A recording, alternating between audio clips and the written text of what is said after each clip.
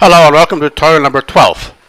Today we'll be discussing actually the first first look into Community Builder tabs. We can get to the tab management area from the icon here on the control panel or we can just click Community Builder tab management. Let's just take a look at the default tabs. We have 13.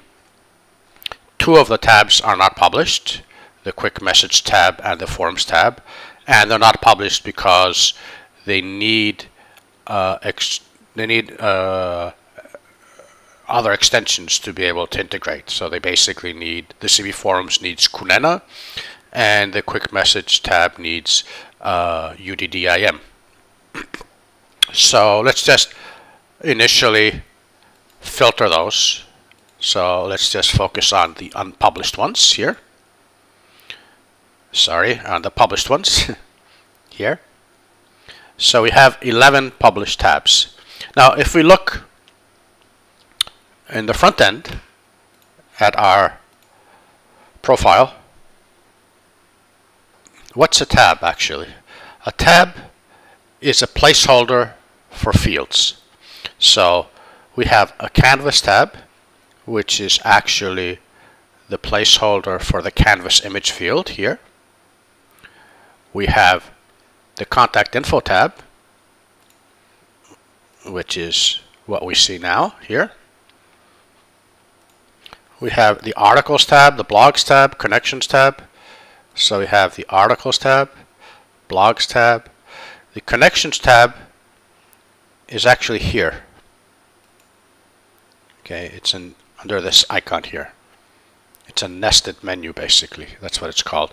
So we see that each tab here has a position and also has a display type. So we see our connections tab is in the display nested menu, nested tab menu position. The contact info tab is tab menu position. Okay, the canvas tab is in the display div without title we'll, we'll just you can see the uh, the display and the position basically the combination uh, influence how the tab is displayed on the profile. I'm not going to go in depth right now uh, on the on the positions and the display. You can explore it if you want on your own. I'm just going to go ahead and create a brand new tab here. And let's just call it additional info. And keep everything the way it is default save and close. And let's just go to my fields management area and find the gender field that we created in the previous tutorial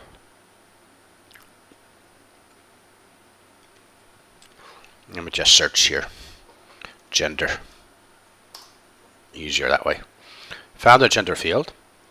And we see that it's in the contact info tab. Let's just go ahead and edit it and place it in the new tab we just created, the additional info tab. Let's save and close this. Now let's go to the front end now and do a refresh.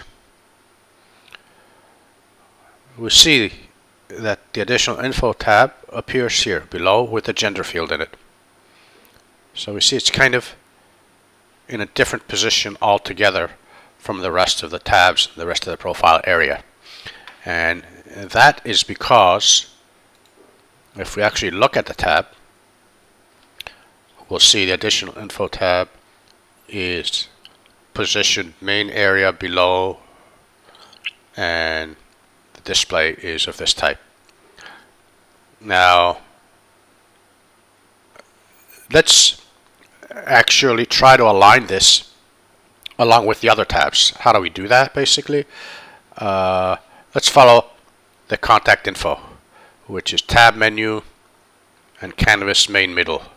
So let's just go and edit this and see where it says position and set that to canvas main middle and the display type set that to tab menu and save.